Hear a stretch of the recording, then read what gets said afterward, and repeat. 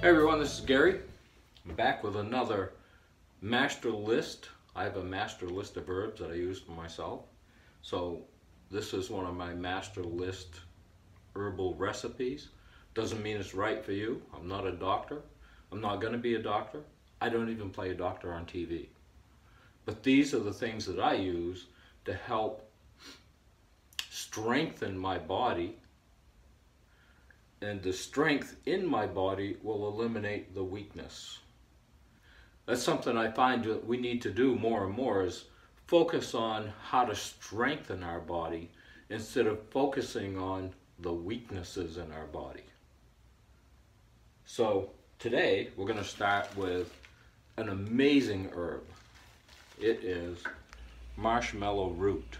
Marshmallow root is one of the best all-around herbs I believe that I have found, and that doesn't mean there aren't some out there, but I use a very limited herbal list. Another one we're going to be doing, alfalfa. And uh, the third one, see if we can get that so you can see it, is skullcap. so as I go over these, we're going to talk about how these herbs strengthen the body and the weaknesses that they will help the body eliminate.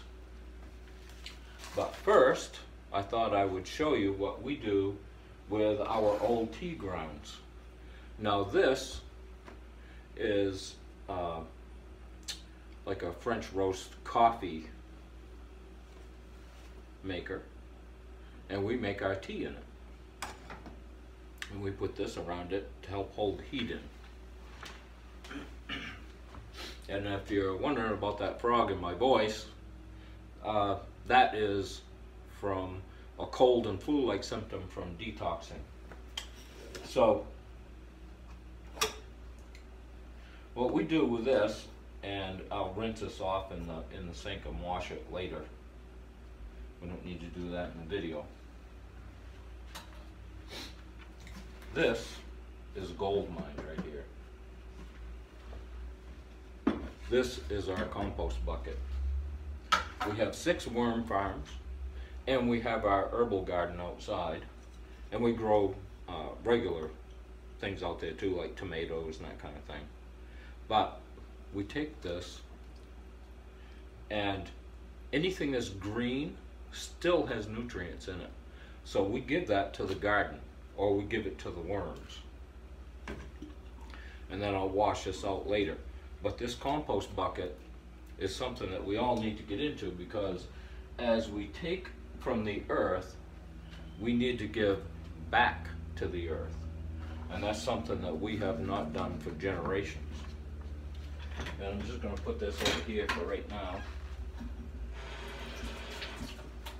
Put my hand off a little bit because this is a working kitchen. It's uh, it's not a showroom kitchen. And we have one camera. We don't have three. I have an opportunity to do that, and I may do that later. But for now, we're going to show you. I believe there's my water pitcher. There it is over there. So now that I have my pitcher of water, I'm going to show you how I measure the water to boil the marshmallow root in. And remember, that has to boil for 20 minutes. So, I have this little uh, pot here that we're going to boil that in.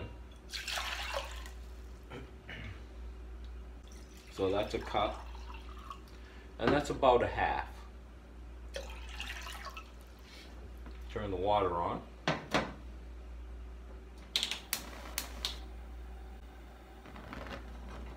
And we're gonna, there's two ways to do this. I can let it boil and put the water and put the herb in for 20 minutes, or I can put it in now and do it for like 25 minutes. Probably take it five minutes to heat that water up. So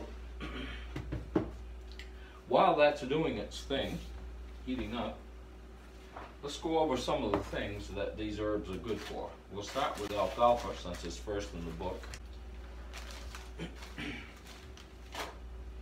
alfalfa is high in chlorophyll and nutrition. Uh, it has high minerals and trace minerals. It's a body cleanser. Enhances the endocrine gland system. And it will uh, help eliminate retained water, carbon dioxide, and it helps with uh, alcohol, smoking, narcotics, uh, excuse me, narcotic addiction and it helps eliminate like lead, aluminum, mercury uh, from the body. So it's a great heavy metal detoxer. And the reason I keep going back to the book to read these is not that I don't know a lot of this stuff. It's that people think that they have to know right off the top of their head about all these different things, and that's not true it's always good to go back to the book to make sure. So every time I do even my own formulas, I go to the book. If I need something for my eyes, then bilberry right here is a good one. And I mean, everything is all laid out right here for you. That's why this book is such an important book to own. Uh, what are we going to go to next here? We're going to marshmallow root next, which is one of the most versatile herbs I have found. And like I said, I don't know that it's the best one. I don't know that it's the only one. I know that this one is amazing. Okay, so it's an anti-inflammatory. Works with the gastrointestinal tract. It's good for uh, colitis, diverticulitis, ulcers, cancer. Uh, it's great for the GI tract. And it helps, it puts a lining on the whole internal body, but basically, the, or more importantly, the GI tract, to help the body, puts a protective layer on it to keep the acids and, and all the little bacteria in there from eating away at the lining of, of different parts of your GI tract and intestinal tract. Uh, it's great for healing wounds. Uh, and like I said, I'm just skipping through this, but it's good for uh, sinus, tonsils. It's a great mouthwash. Uh, it's good for the vascular system, the liver, the pancreas. Uh, it's high in calcium and lime. It's great for the skeletal structure itself. Uh, it's been used successfully in as uh, to help people who have gangrene, uh, cough, laryngitis, respiratory congestion, and it's good for boils and abscesses and skin conditions and I mean it just goes on and on what what this is good for. You don't find many herbs that are good for such a range of things. So when I'm building a formula for me, the best thing to do is, okay, what's my condition? Are my eyes bothering me? Okay, so I'll go to, to bilberry. There are other ones in here too. Uh, but it's important to think about what's off. Uh, your adrenals low. Licorice root is amazing. That's on my master list. Uh, lymphatic cleanser would be cleavers. There's many, but cleavers is one of my go-to. Part of the reason it's my one of my go-tos is it's available in my area, and I have cleavers growing in my garden. I have plantain, I have rosemary, I have uh, comfrey. I have so many. I believe I have some alfalfa out there. And uh, parsley, I have a lot of parsley. So let's move on.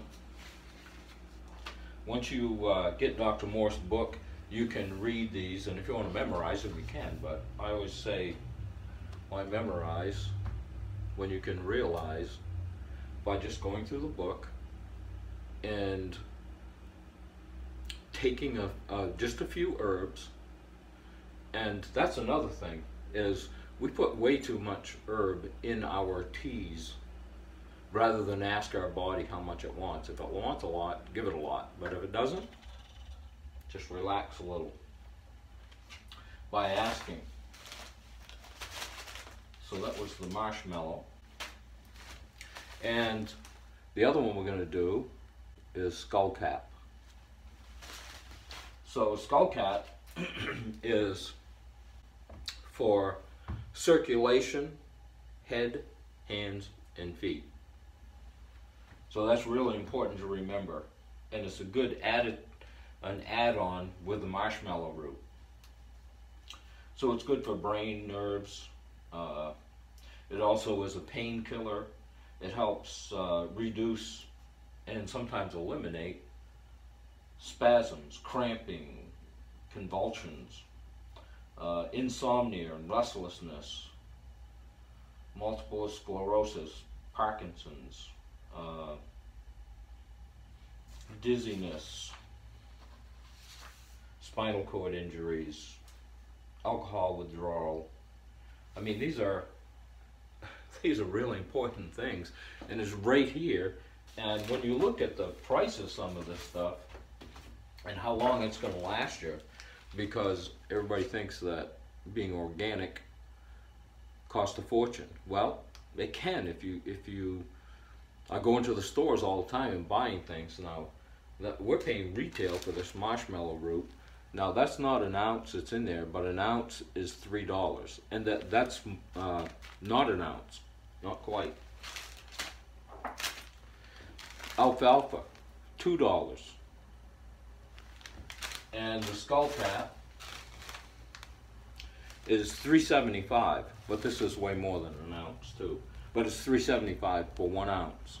And an ounce will last a long time. Another great uh, upper circ, brain and nerve, head, hands, and feet circulation uh, herb is ginkgo. But it doesn't have the ability to eliminate pain like skullcap does. So that's why I use skullcap. So our water's starting to, just starting to bubble a little bit. And I didn't get the lid to usually you put a lid on here, it'll heat up faster. So I'm gonna put the marshmallow root in now. And I'm gonna show you how I determine how much of this is going in that water. So I'll be right back as soon as I change this camera. Okay, so marshmallow root. Get a spoon out here. You can also, and probably a good idea, to use a wooden spoon.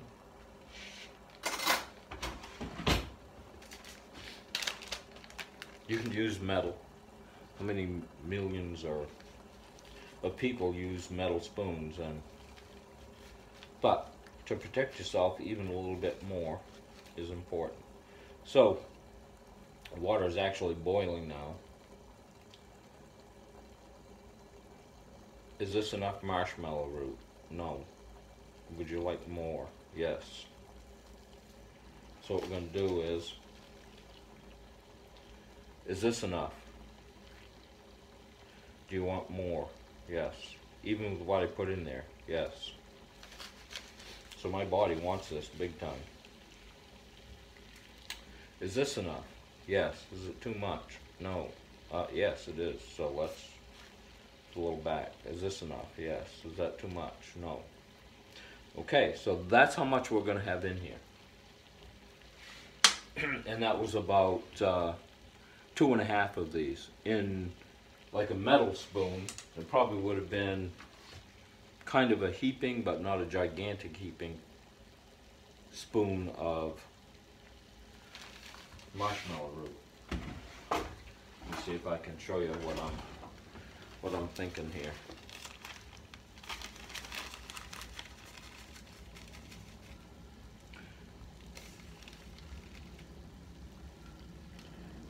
So with a metal spoon, I probably would have put in that much.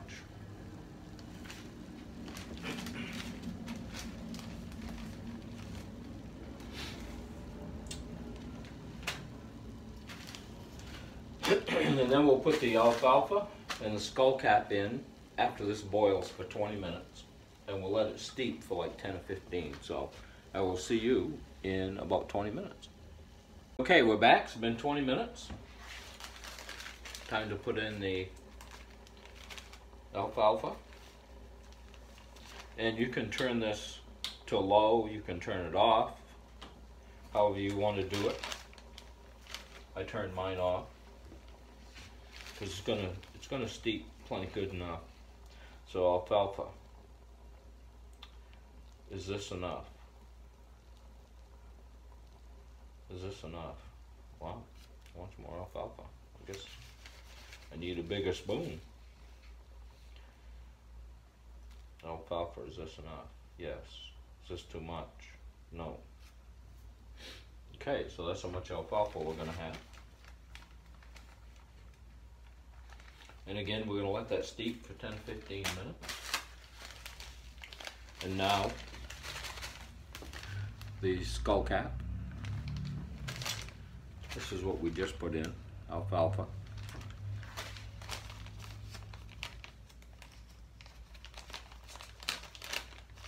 And depending on what, uh, let me get this first.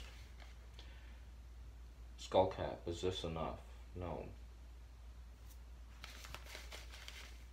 Is this enough? Yes. Okay.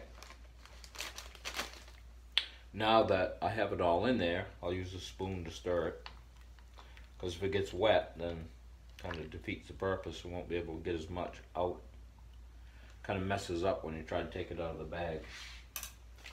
So now we have our skull cap and our alfalfa and our marshmallow root in here and we'll let it steep for a few minutes. I'm going to adjust the camera again. Okay, so once that steeps, we'll have a great cup of tea that's good for upper circ, brain nerve. It's good for sinus, throat, tonsils, respiratory system, endocrine gland system, digestive system, urinary tract. I mean, all in one cup of tea. Now you see how much I used of that.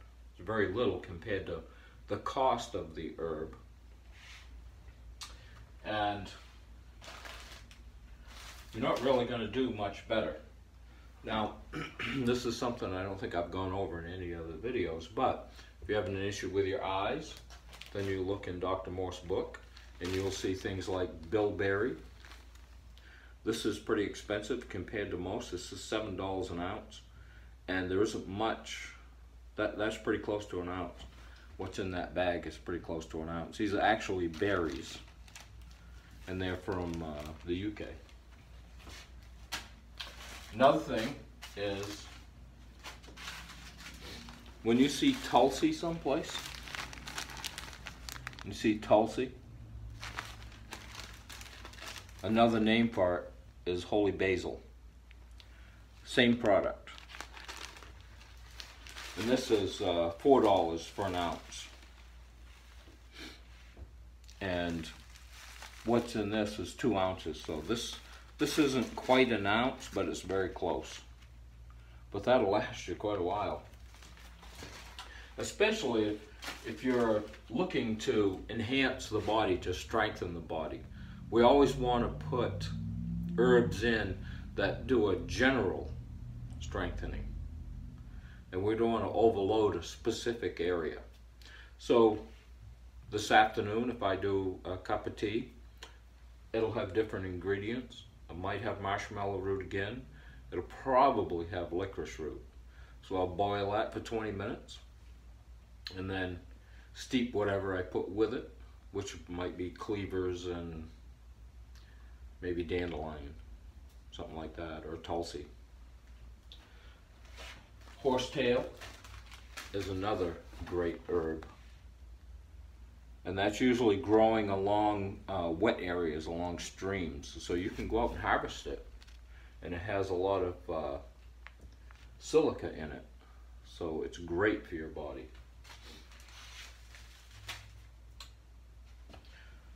So for now, I'm just going to shut this off and I'll see you in about 15 minutes. Okay, we're back. and I just noticed too, I have some marshmallow root powder. And as you can see,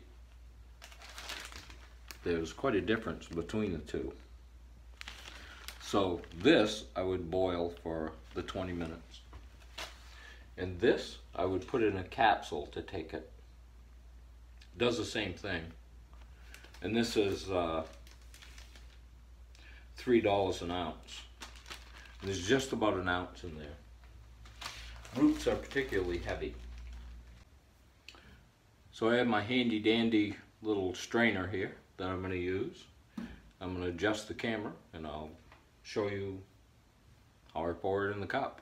Basically, that's it.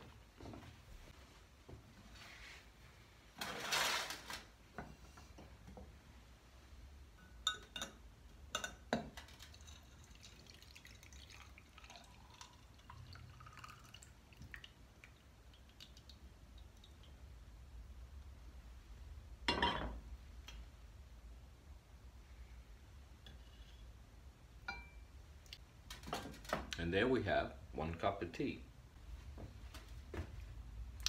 So I hope you found this helpful and that you got some tips about mixing your own herbs together. And it's not something that you should be afraid of by any means. You could put 10 different herbs in here if you wanted to, but the more you put in, the less potent each one will be because you're getting less of each. But the most important thing is to feel your body. Healing is feeling. Man, I feel energized today. I feel really tired today. Uh, I just ate a huge meal and I feel so full. Uh, I feel like I could run a mile. Those are, those are the common things that we, we are always talking about our feelings and they are a direct link with our body communicating with us to tell us what's going on. So I feel sick, I feel nauseous, I feel I have a headache. That's a feeling. And it's a sign of the chemistry being off in your body because each cell is a mini you. It eats, it digests, it absorbs, and it poops.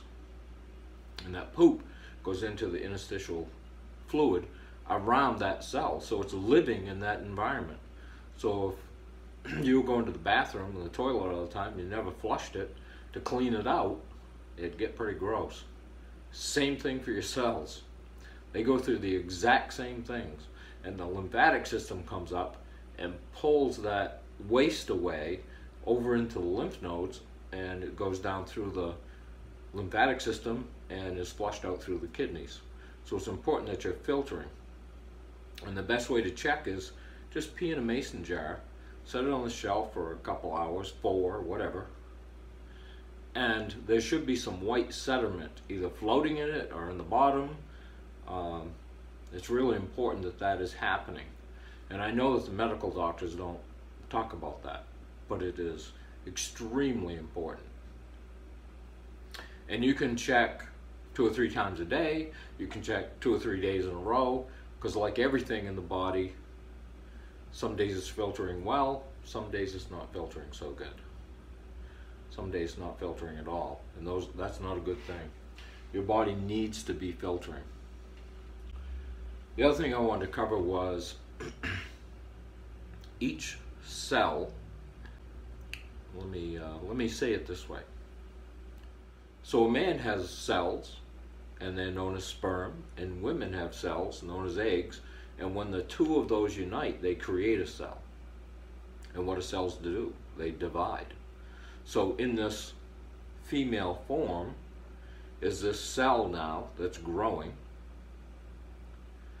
and when it gets to a certain size, it splits, and it keeps splitting and splitting and splitting and splitting until there is a baby in there that's ready to split from the mother, to divide.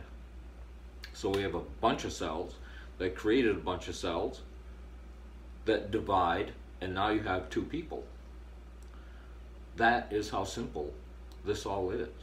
And how you feed those cells is going to determine how healthy you are and how healthy that baby is. So that's why proper herbs, like God's herbs, live food, and live liquids are so important. Most of us are dehydrated and we're chronically inflamed in our bodies. And we need to alkalize that, hydrate that, and help the body flush it out. That's where these teas and things come in. Uh, fruits, berries, melons, vegetables. I mean, they're, they're alive. Eat them raw, right off the tree if you can. Pick and eat because the life force energy is still in it. It's really important. So I hope you found this video helpful. If you did, please like, comment, and subscribe. And I will see you in the next video. But first, let's just try this tea.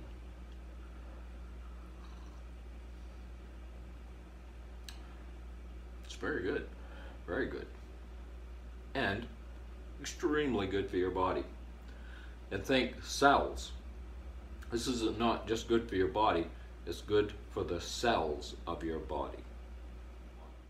Instead of your brain just going along and going, oh man, I want that, oh, I want that, oh, I want that. And mostly what it wants is dead, lifeless foods that are feeding you emotionally. And that's okay. Could should be about 20% of what you eat. Because we need to feed all our bodies spiritually, physically, mentally, every aspect of our bodies need to be in balance. And if one of those is out of balance, everything goes out of balance. So I hope you found this helpful, and I'll see you in the next video.